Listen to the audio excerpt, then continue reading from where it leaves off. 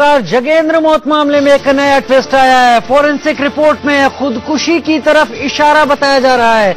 Report में कहा गया है कि किसी और के आग लगाने की संभावना कम है। जो तथ्य फोरेंसिक एक्सपर्ट्स को मिले हैं फोरेंसिक रिपोर्ट जो आई है, उसमें खुद के आग लगाने की बात की संभावना ज़्यादा दिखाई पड़ रही है। किसी और के आग लगाने की संभावना कम है। पत्रकार जगेंद्र का हत्याकांड शाहजहांपुर के पत्रकार जगेंद्र हैं और इनको, इनके, इनको आग लगाने को लेकर उत्तर प्रदेश सरकार के मिनिस्टर राममूर्ति वर्मा सिंह पर आरोप है और तमाम दूसरे लोग पर। यह वो फोरेंसिक रिपोर्ट की कॉपी आप अपनी स्क्रीन पर देख रहे हैं, जिसमें यह आशंका जताई गई है कि ये चीज़, ये जो भी घटना हुई, ये हादसा, ये खुद किया गया हो सकता है। विपिन चौबे हमारे साथ जुड़ रहे हैं। विपिन, अगर इस फोरेंसिक रिपोर्ट को देखा जाए तो ऐसा लगता है कि पूरा मामला एक अलग रुख लेता दिखाई पड़ रहा है?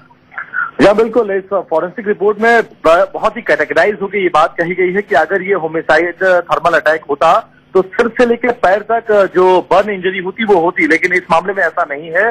पूरा सर से लेकर पैर तक नहीं जला है मामला, और कुछ हिस्से बॉडी के पार्ट जले हैं तो ये इशारा करता है कि जोगेंद्र के को जलाकर मारा नहीं गया, बल्कि ये सुसाइडल अटैक हो सकता है, और उन्होंने सुसाइड किया होगा। इस तरफ़ ये पूरा केस इशारा करता है, और कहीं ना कहीं ये फॉरेंसिक रिपोर्ट के ज़रिए ज़ाहिर करने की और बताने की कोशिश है कि जोगेंद्र मामले में नया ट्विस्ट आ गया है।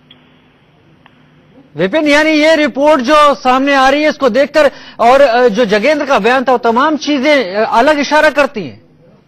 अच्छा बिल्कुल क्योंकि हमने इस पूरे मामले में अपने दर्शकों को हम दिखा रहे हैं कि किस तरह से फॉरेंसिक रिपोर्ट में इस बात की पुष्टि की गई है। और इस तरफ़ इशारा किया जा रहा है कि जगेंद्र ने की हत्या नहीं बल्कि आत्महत्या है। उससे दूसरी तरफ़ एक और रिपोर्ट रखी गई है यानी जगेंद्र की जो महिला मित्र थी उनका मजिस्ट्रेट के सामने एक सौ चौसठ बयान है उस बयान को सामने रखा गया है। और बयान में वो ज़ाहिर कर रही है कि खुद आग लगाई है। बहुत शुक्रिया विपिन इस तमाम जानकारी के लिए।